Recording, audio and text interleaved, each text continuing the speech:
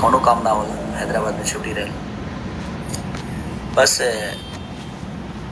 आंस खाती हम आयल बनी कि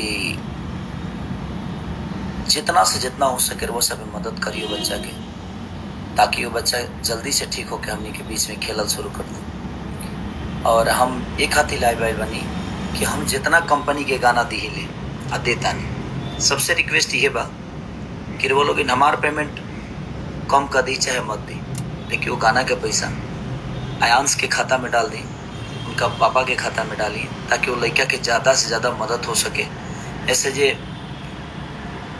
एक बात के खुशी भी बा हमके, कि जौन आज तक ले, कलाकार बंधु से आज तक ले केहू मदद ना करत तला, कोनो भी आपदा में केहू कहीं ना जाता ला लेकिन आज अपना कलाकारन पर गर्व होता हमके कलाकारन पर खुशी भी होता। कि हर कलाकार आज कुछ कलाकार, हर कलाकार तो नहीं खा जा पाओ। लेकिन जे भी फ्री बा, जे बिहार में बा, हमहू रहती तो हमहू जेती। लेकिन हमारा टीम से जितना भी हो सकता हम मदद करावे के कोशिश करत तनी, मदद करत भी बानी। लेकिन हम चाहतनी कि हमार कंपनी नहीं तो पच्चीस से तीस गो कंपनी बा। वो कंपनी से रिक्वेस्ट करतनी कि आप हमें गाना का पैसा दीजिए, मत दीजिए, लेकिन उस बच्चे का मदद करिए। ताकि वो हमारे बच्चे, हमारा घर का बच्चा है, हमारे बिहार का बच्चा है और हमारा दायित्व तो बनता है, हमारे भोजपुरी समाज का बच्चा है। तो हमारा दायित्व तो बनता है कि उसका मदद करें, उस बच्चे को।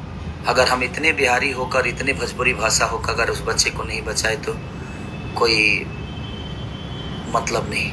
इसलिए मैं चाहता हूँ।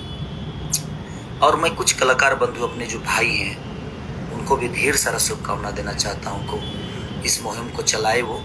और इस हद तक लेकर गए कि आज सब लोग मदद कर रहे हैं। उस मीडिया कर्म प्रभारी, मीडिया के जितने भी प्रभारी हैं, जो लोग इस जागरूकता को फैलाए हैं, मैं उनका शुक्रिया अदा करना चाहता हूँ कि आपने एक ऐसा मुहिम छेड़ा कि हम तक बातें पहुँची, बहुत सारे ऐसे लोगों तक वो बातें पहुँची और उस बच्चे का मदद हो रहा है। और मैं फिर से एक बार कह रहा हूँ अपने कंपनी मालिकों से कि आप लोग प्लीज़ उस बच्चे का मदद करिए।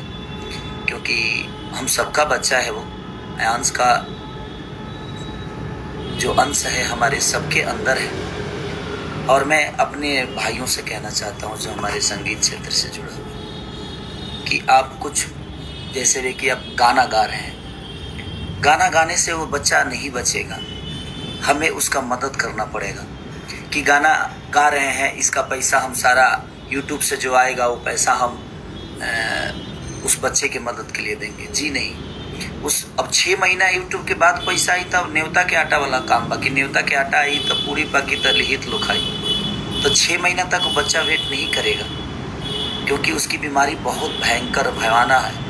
बहुत हल्की नहीं है कि वो छः महीना बर्दाश्त कर पाएगा। तो आप वो गाना ना गा के, आप कोई लोकगीत गाइए, देवी गीत गाइए, छठ गाइए, जो भी गाइए गा के आप कंपनी को बेच कर उस पेमेंट को डोनेट कर दीजिए उस बच्चे के लिए। उस बच्चे का हेल्प हो जाएगा। तो तुरंत हेल्प की ज़रूरत है हमें। गाना गा के छः महीना वेट तो कोई नहीं करेगा ना।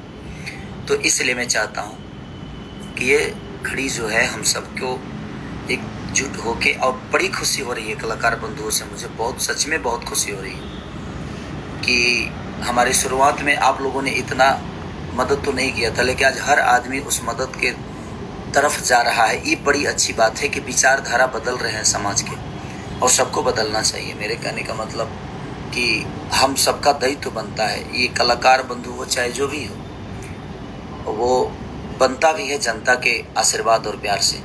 और उसी जनता में से वो एक बच्चा है हमारा, कि उसके माँ बाप ने भी हमें कभी प्यार दिया है, देते हैं तो हमारा भी दायित्व बनता है कि उसके दुख और सुख में साथ रहें हम। तो इसलिए मैं चाहता हूँ कलाकार बंधु से खास करके कि, गाना गा के नहीं गाना गा के बेचिए ना आप। आप लाख लाख रुपए में दो लाख में बेचते हैं तीन लाख में बेचते हैं या पाँच लाख या दस जितने में बेचते हैं आप। आप वो बेच कर तुरंत उसके वो डोनेट करिए तुरंत उस बच्चे के लिए हेल्प करिए ताकि उस बच्चे को ज़्यादा से ज़्यादा हेल्प हो सके। तो मेरी मेरी प्रयास है मेरी टीम शुरू दिन से लगी हुई है खेसारी फाउंडेशन की तरफ़ से। जो भी मदद हो रहा है लेकिन मैं फिर से एक बार कह रहा हूँ अपने कंपनी मालिकों से जिनके पास मेरा गाना जाता है। आप मुझे पैसा दीजिए, मत दीजिए, लेकिन प्लीज़ उस बच्चे का मदद जितना हो सके।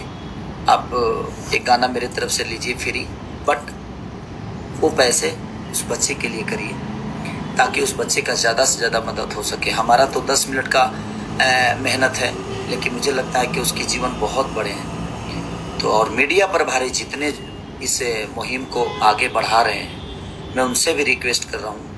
कि आप जितना से जितना हो सके उस बच्चे की मदद के लिए आप अपने इस जागरूकता को जारी रखिए और ताकि लोगों तक ये चीज़ें पहुँच जाए और कुछ मदद हो सके सबके हाथ। और हम सबका दायित्व तो बनता है, हम इतने सारे लोग हैं और हम चाहें तो क्या एक बच्चा नहीं बच सकता है। एक एक रुपया दान अगर पूरी बिहार करेगी तो शायद उस बच्चे के जीवन के लिए बहुत हो जाएगा। तो मैं चाहता हूँ कि पूरे बिहार ही नहीं, जहाँ भी लोग यूपी, बिहार, झारखंड मैं जहाँ भी मेरे अपने संपर्क के लोग हैं, जो कपेबल हैं, जो कपेबल नहीं भी हैं, जो सौ रुपये का ही क्षमता है उनकी, मैं उनसे भी रिक्वेस्ट कर रहा हूँ। तो आप सब भी रिक्वेस्ट कर कर और उस बच्चे को